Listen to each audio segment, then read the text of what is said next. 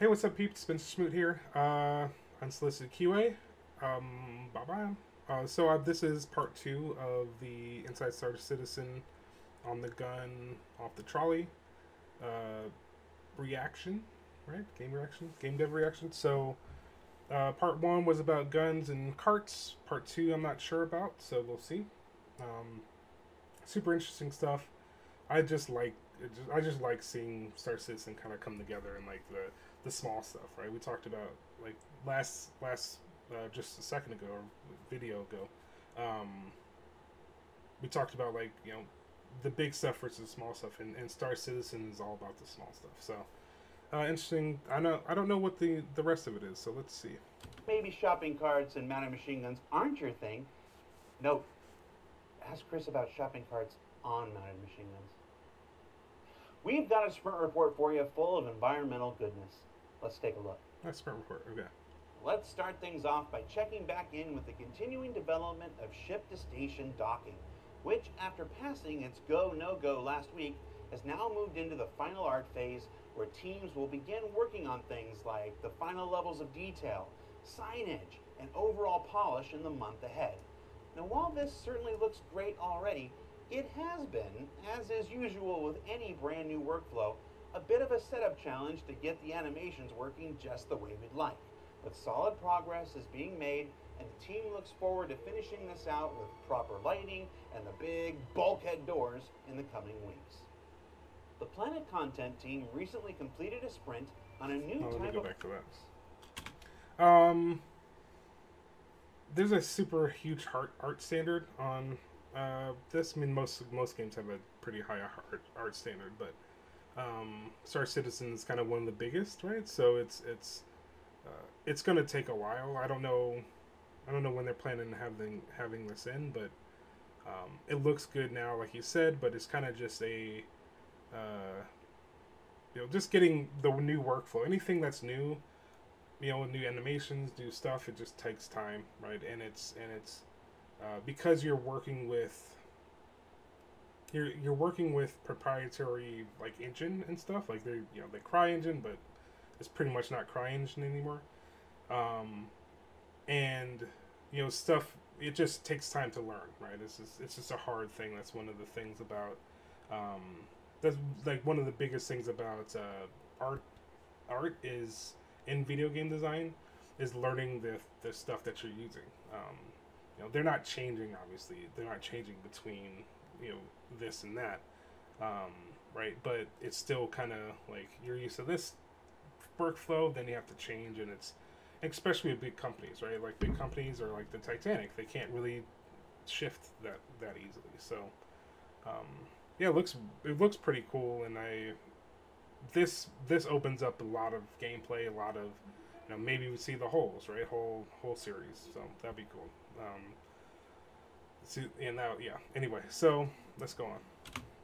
The Planet Content team recently completed a sprint on a new type of harvestable being added to surfaces in the upcoming Alpha 313.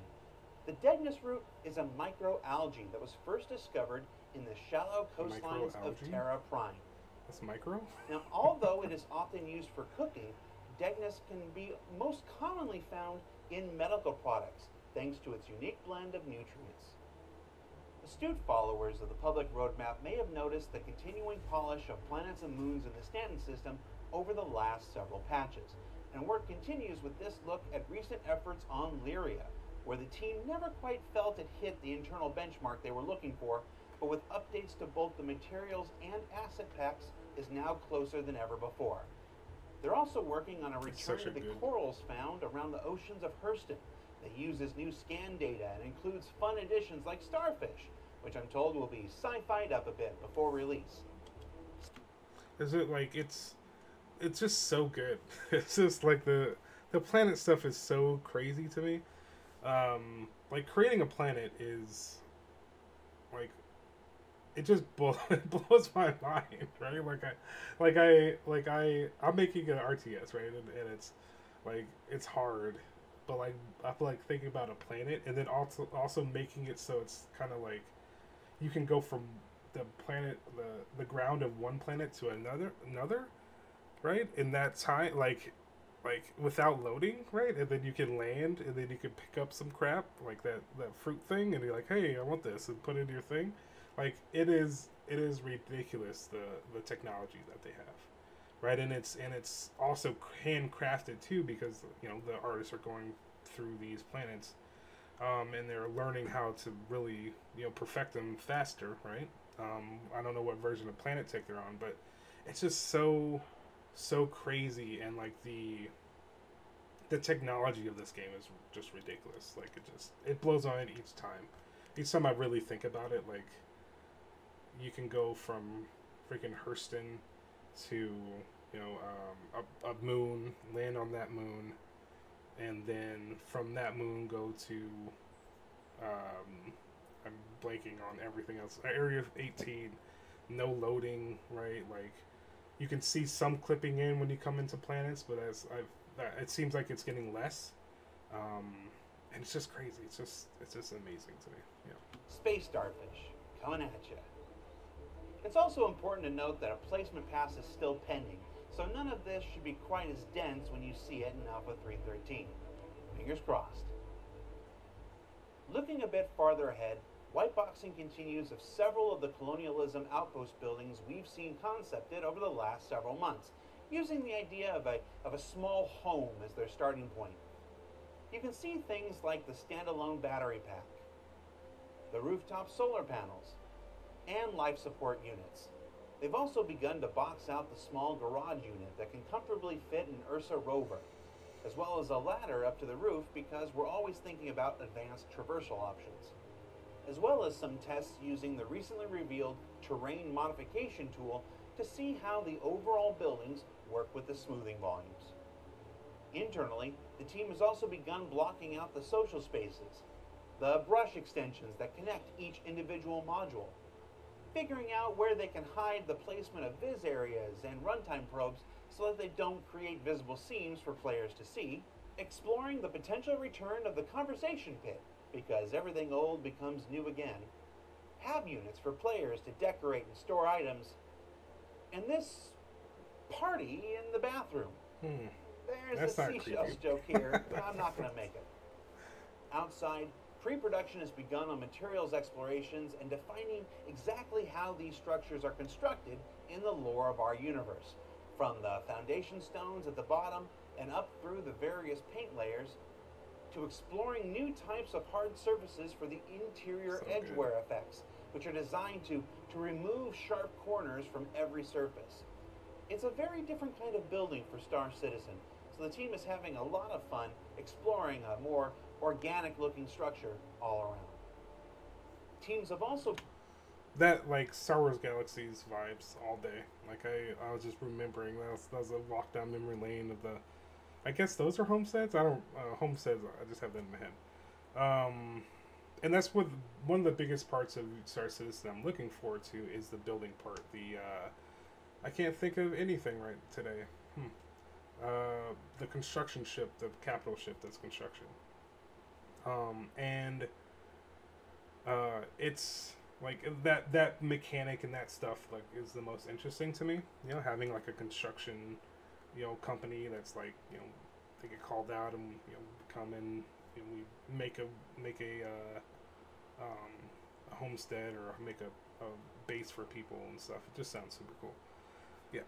also begun the white box blockout for two new hospitals beginning their journeys into the persistent universe, including this look at the new Babbage Hospital, soon to be found beneath the Aspire Grand, Hmm. with new Bab's trademark cool. skylight looking out to the skyline above it, as well as a pharmacy where you can stack up on med pens, and eventually an ambulance drop-off point, which, given the way I play, I expect to use more often than not. That's not weird.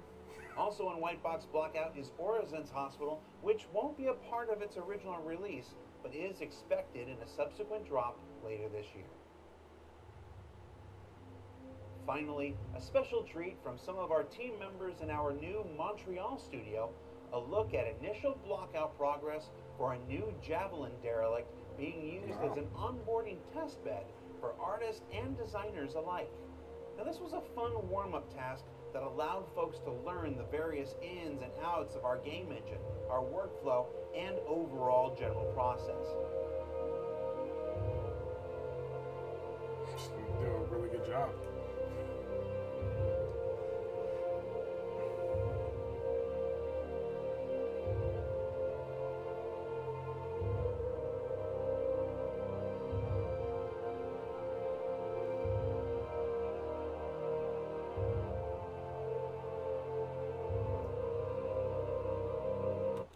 It's just like the it just okay. the potential like the potential of this game is ridiculous right? Like it is so vast right? And like the what they're going for is such a vast like um uh, experience right? And like like it just it it blows my mind. Like i'm thinking about it of just the the world that this is going to be when it's finished right it, it's hard to really see it sometimes because it's you know we're we're in the forest. We don't see the trees or whatever that is. Um, we don't see the forest of the trees. Um, because we're in it. Like we see all the bugs. We see all this.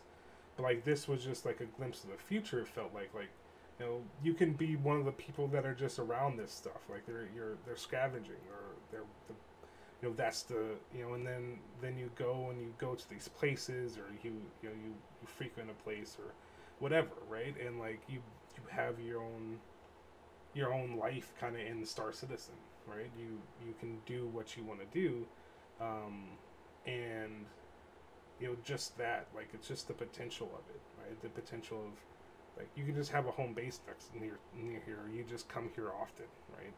Um, to because that's that's where you're at. So yeah, it's just it's just crazy.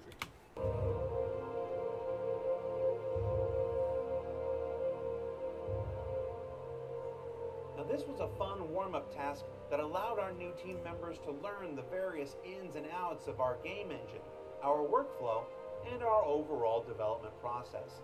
And it's delightful to see one of Star Citizen's earliest planet-side points of interest potentially evolve into so much more. Now, while this was originally just a test, it has inspired everyone that's seen it to explore this idea further later this year. So, what did we learn this week? Well, we learned that with staggers and mounted weapons and push. Okay, um, that's it. Just cool stuff, like always. Um, yeah, just like I just had a vision of like the future of this game, right? Who knows when it's gonna come out, when that future is gonna be, um, but you know, I think I think the gaming community learned a huge lesson, hopefully, with uh, Cyberpunk, right? And um, it's better not to come out the game that's not ready yet. Uh, you know, Squadron 42, I would much rather them make sure that it's ready to come out. And when it comes out, then it's just pushed out the door because it's been in development a long time. So it's same with Star Citizen. Is like when it gets complete, it gets complete like it's it's I think it's better for everybody, right? Like um it's better for everybody to um, just all parties because it's just so much there's just so much uh, stuff. You hear that? I hope I, don't know if you care. Anyway, um, yeah, and it's just so much like